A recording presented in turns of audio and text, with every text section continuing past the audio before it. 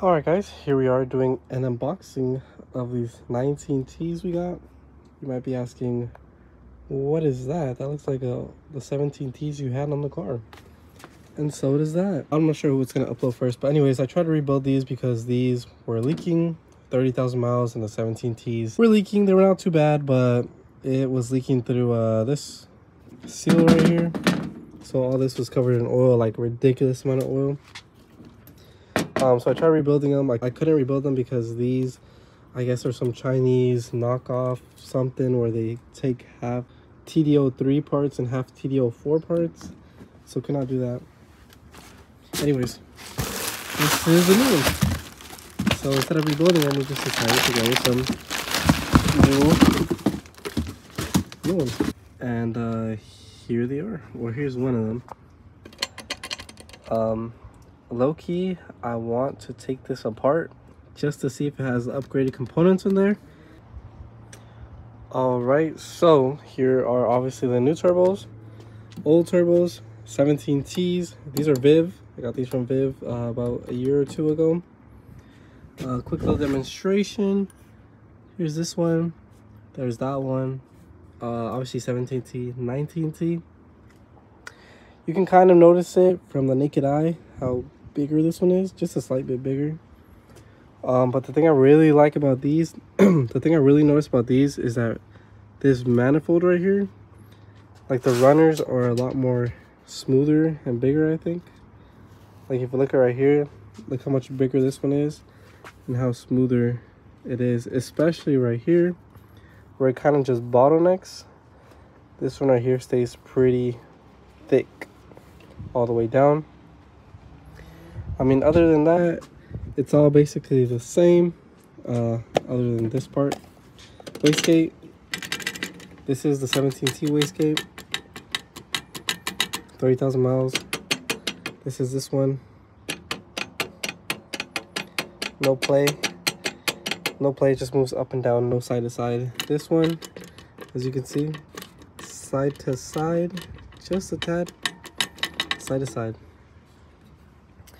Um, I'm trying to think of something else to show you guys. There's no play in this. No play whatsoever. This turbo, this turbo was good still. It wasn't leaking at all. It was still solid. No wastegate rattle. Still solid. 30,000 miles. It was the front one. This is for the front. Obviously, it's taken apart. But the front one was the one that was leaking. It would uh, drip down right here through the front of this uh, gray case. I'm not sure what side that's called but basically it was leaking in here and spitting up into the charge pipe area and dripping dripping from right here. Basically it was all wet on this uh, gray part. But anyways so this is the wastegate as you can see. No play no play whatsoever. There's the bushing in there. Uh looks like a regular bushing i guess. Same thing with that one regular bushing um, but I am going to be obviously I removed these 17 T's. Original plan was to rebuild them. Didn't go according to plan so we just decided to ship these out. I mean to we decided to order these and here we are. We're going to be installing these up next and here. But I just want to show you guys these turbos. Uh, I got these specifically from uh where is the name? Speedy turbo that's where I got them from. Uh, obviously 19Ts. I'm gonna take them apart, see if they have the upgraded internals inside because it does say that these are V4. So I'm guessing they have all the stuff in there. Even in the description, it said it had upgraded uh, thrust bearing, I don't know what other bearing, and all the upgraded stuff is supposedly in here. But I have heard some stories of people saying that they say that, but they don't really uh, have the inside. All right, so this uh, V4 uh, turbo is out. Here's the thrust bearing. It does have an oil, extra oil port, port, whatever it's called. But this one is from Turbo Lab America. As you can see, this one's way bigger and then it goes to small. This one's just small and small. I don't know how much that would affect it, to be honest. But at least it has that Uh, one thing I did notice is that this one right here is smaller than the one that comes in the Turbo Lab America kit. Well, this one, I guess we can upgrade in a way. This one I'm not sure about because it does have two oil ports, but but like I said, they're a bit off in a way. I'm not too sure how to explain that.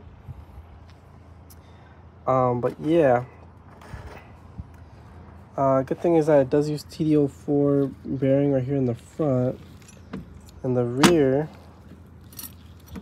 is actually a TD04 bearing as well, pretty thick. And it comes with a staggered piston ring, as you can see. Staggered instead of two.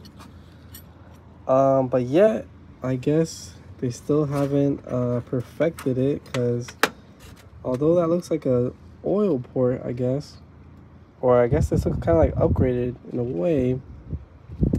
I think it should be like that though. So that's one thing to notice. These V4s are a bit better internally, but this right here is still not perfected. This one right here, this one is obviously smaller. And what else? Uh, other than that, the bearings are good. Uh, the main issue is these thrust bearings and these uh, washers right here. But yeah, that's that's what we're looking at right now.